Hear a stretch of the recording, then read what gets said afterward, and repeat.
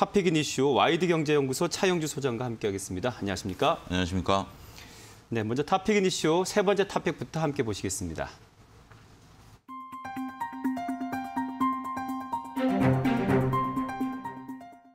네, 건설업 얘기 좀 해봐야 될 것 같습니다. 최근에 건설주 수혜에 대한 기대가 좀 있는데요. 뭐 또 서울시장 선거 수혜주라도 보네요. 네. 예, 그렇습니다. 일단 뭐 건설주들이 최근에 움직임을 좀 보여주고 있는데요. 네. 어, 정부가 이제 건설업에 대한 어떤 규제를 하고 있는데 최근에 이제 이슈화 되고 있는 게 이제 서울시장의 야당 후보가 어, 현재 지금 그 지지율이 조금 올라가고 있다 이런 부분들 때문에 네. 어, 규제 완화에 따른 그런 어떤 수익을 좀 볼 수 있지 않겠는가 어, 그러한 관련주들이 조금 대거 상승하고 있다라고 말씀드릴 수가 있겠습니다.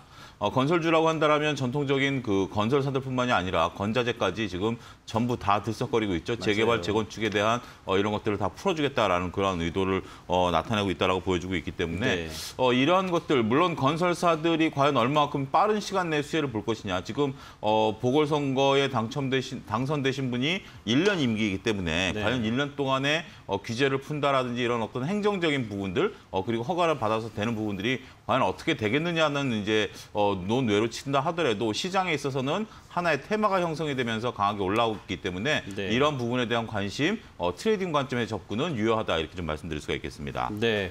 자, 그렇다면 이 중에서 어떤 종목을 좀 저희가 눈여겨보면 좋을까요? 어, 아무래도 뭐 여러 가지 뭐 조금 전에도 뭐 부품 그 일단은 뭐 인테리어 관련주를 좀 맞아요. 말씀을 하셨는데 네, 네. 어, 이런 것보다는 저는 건설사를 직접 하는 게 낫지 않겠는가라는 부분들이죠. 음. 네. 인테리어 수요는 어느 정도 이제 일단락된 것으로 개인적으로 좀 보고 있는 상황이기 때문에 GS 건설을 좀 보도록 하겠습니다. 음. 네. 아, GS 건설 같은 경우 국내 재개발 재건축의 강자이고요. 어, 앞으로도 이러한 다양한 brand name을 내세우면서 수혜를 볼 가능성이 있다라고 보여지는 거죠. 물론 이제 경쟁 회사인 대림 산업이 이제 DL이라는 이름으로 어, 이제 치고 나옵니다. 그 전엔 대림 산업이 어, 엔지니어링 부분과 같이 있다가 이제 분사가 되긴 했습니다만 네. 그래도 GS 건설이 국내의 자이라는 어떤 브랜드명이 그렇죠. 어, 상당히 어, 높은 어, 브랜드 혹 그 인지도를 경쟁력이 있죠. 갖고 네. 있다라고 보여진다라면 어, 어, GS 건설에 대한 부분들 우리가 관심 있게 보셔야 되지 않을까 말씀드릴 수 있겠습니다. 네, 지금 최근에 지금 GS 건설 흐름 전반적으로 좋고 오늘도 지금 2%대 오르고 있는데요. 자, 그럼 이, 이 GS 건설 같은 경우에 그러면 뭐 신규 매수나 보유자 영역에서는 어떤 느낌으로 어, 일단은? 뭐 계속해서 trading 관점의 접근은 유효하다라고 좀 음. 말씀드릴 수가 있겠고 건설주들이 어, 시장이 지금 현재 변동성 장세에 있음에도 불구하고 뚫고 나가는 모습들 보여주고 있죠. 네. 어, 이러한 모습들을 본다라면 어쨌든 지금 선거일까지 물론 한 1, 2주 정도 남았습니다만 어, 강력한 뭐 흐름들은 좀 이어질 가능성이 높지 않겠는가 말씀드리도록 하겠습니다. 실적 부분도 기대될 만한 거죠. 이 종목은 그렇죠? 그렇습니다. 네, 네, 네. 자, 두 번째 이제 탑픽 이슈 넘어가도록 하겠습니다.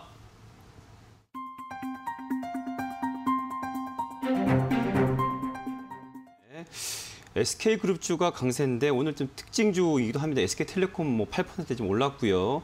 근데 헤드라인 타이틀은 최태원 회장의 경제단체 역할이 커질 것이라는 걸 잡았는데 관련 이야기 좀 들어보겠습니다. 예, SK그룹이 지금 뭐 말씀하신 텔레콤이라든지 주 SK도 지금 7% 가까이 올라가고 있는 모습도 네, 보이면서 SK그룹이 전반적으로 황골탈퇴를 좀 하고 있다 이렇게 좀 말씀드릴 수가 있겠습니다. 그동안에 대한상의장 같은 음, 같은 경우 어, 이렇게 5대 그룹 총수가 맡은 적이 없었는데 이런 역할을 좀 떠맡았다라 는 게 그동안 솔직히 최태원 회장의 이미지가 그렇게 썩 좋은 부분들은 아니었었던 부분들이 일부 있죠. 네. 어, 그렇지만 그런 것들임에도 불구하고 어, 이렇게 수장을 맡았다라는 것은 어, 이미지 개선 효과를 좀 나타내고 뭔가 좀 적극적인 어떤 액션을 좀 취하겠다 아, 이런 것들을 대내외적으로 좀 표명했다 이렇게 좀 말씀드릴 수가 있겠죠. 총수 그룹 사이에서는 그래도 조금 젊은 층에 속하기 때문에 물론 네. 그 이제 더 밑에 계신 분들도 많이 있습니다만 어, 그래도 어, 2대 총수 치고는 어, 조금 이제 어느 정도 연배가 있으신 분이기 때문에 어, 이런 부분들에 대한 것들을 잘 이끌어낼 것이다라고 말씀드릴 수가 있겠죠.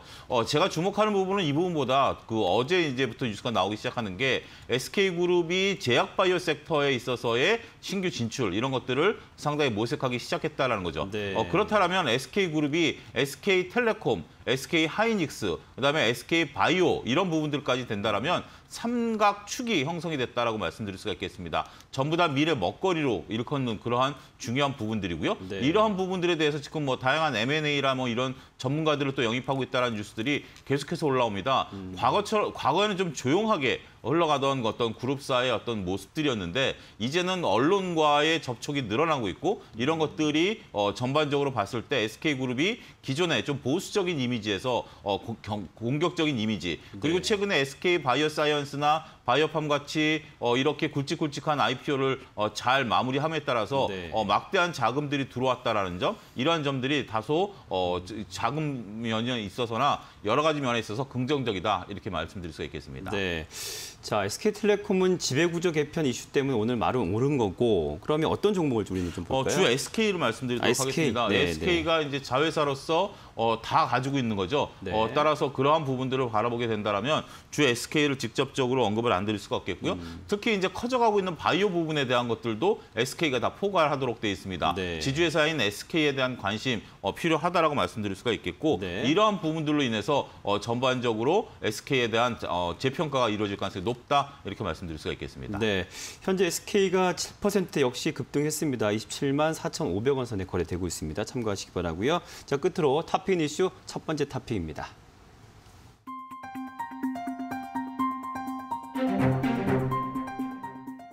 네. 이 대만의 컨테이너선이 지금 수에즈 운하에 막혀 있어가지고 다른 지금 배들이 어디로 가야 될까 이렇게 살펴보는 지금 양상인데 뭐 희망봉으로 가야 되나 이런 얘기가 들리더라고요. 네. 어, 상당히 지금 뭐 여러 가지 면에서 곤혹스러운 지금 뭐 상황에 처해 있다라고 네. 말씀드릴 수가 있겠습니다.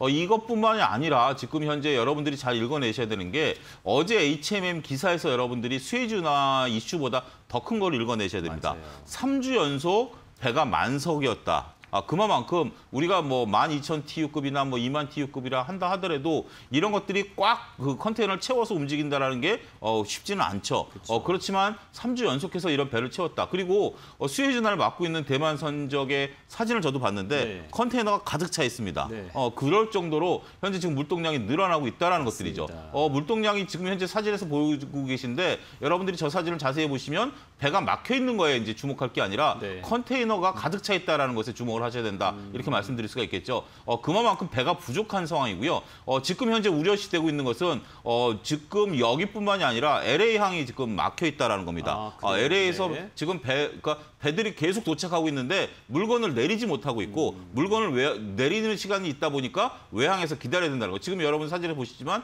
컨테이너 가득 차 있죠. 네, 어, 뭐 그런 그리고, 모습들을 네. 이제 우리가 확인할 수 있기 때문에 지금 컨테이너 설에 들어가는 컨테이너 빌리는 가격이 지난해 이맘때 300만 원이 지금은 800만 원으로 늘었답니다. 네. 어, 그만큼 컨테이너도 부족한 상황이고요. 이렇게 된다면 컨테이너 선을 가장 빠르게 만들 수 있는 나라가 우리나라고 네. 이러한 부분에 있어서 조선 해운주들이 당분간은 어, 우리가 좀 관심 있게 보셔야 되지 않을까 말씀드릴 수 있겠습니다. 네. 그렇다면 혹시 해운주인가요? 조선주인가요? 어, 조선주입니다. 오늘 네. 한국조선해양이 다섯 척의 jet팟을 또 날렸고요. 네. 어, 이런 것들이 작년 연말서부터 계속해서 이어져 오는 수주 공시가 나오고 있기 때문에 이러한 것들 특히 어, 삼성중공업 같은 경우도 올해 수주량이 벌써 65%를 달성했습니다. 이럴 정도로 빠르게 수주가 일어나고 있다는 점에 대해서는 조선주에 대한 관심 특히 한국조선해양의 어, 대장주로서의 역할 충분히 기대가 된다 이렇게 말씀드릴 수가 있겠습니다. 네. 자, 오늘 탑픽인 이슈 YD 경제연구소의 차영주 소장과 함께했습니다. 수고하셨습니다. 감사합니다.